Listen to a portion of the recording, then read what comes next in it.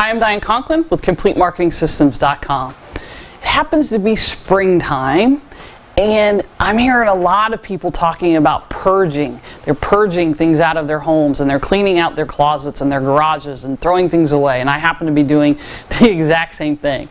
I've uh, taken about 20 bags of stuff to Goodwill. The garbage men on Mondays are not happy with me lately.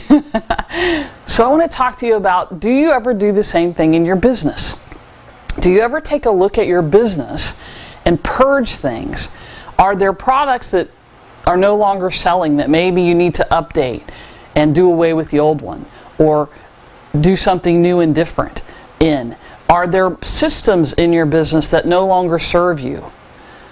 Do you have team members that you've held on to and tried to save and, and tried to work with and it's just not happening and, and you know sometimes we hold on to things longer than we should hold on to things not only in our lives but in our businesses as well so I want you to think about and really take a look at um, take a day maybe take a Friday or take whatever day and uh, get outside of your office and really sit down and think about the systems that you have in place how you're doing things and why you're doing them the way you're doing them. Many of us, when we start in business, we model other businesses. We model what we see and we start like that. And we just continue modeling people. We just continue doing things the way we see everyone else in our industry do them.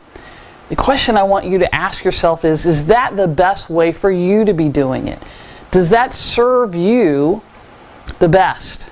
If it does, great maybe there's a different model. Maybe there's a different way. Maybe there's a slight change or tweak that you could make that would serve you better. You just haven't done it or you haven't tried it because, well, that's how everybody else is doing it.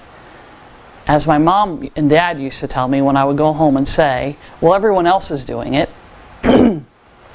they would say, well, Diane, if everyone else was going to go jump off the bridge, would you, right? And like you, if your parents said that or something similar to that, I hated it. And I think it's silly that they, even now. But the point is, why are you blindly following somebody else instead of making your own decisions? It's your business right? Now, I'm not saying I don't model things. I have, have that's how I've grown my business to, in many, many ways, is I've modeled success. And I want you to do the same thing, but I want you to do it with strategy and with thought and with testing things to see if there's another way that just feels better to you, that works better, that gets you a better return on your investment. And if you find those things, then I would challenge you to change the way you're doing things right now to be more productive. Maybe you do it just because it fits better for your personality. It fits better for the personality of your team. It works better for whatever reason. Maybe it's not even about the bottom line of your business, but it's just what seems to work better for you. There's some food for thought for you. I'm Diane Conklin with CompleteMarketingSystems.com.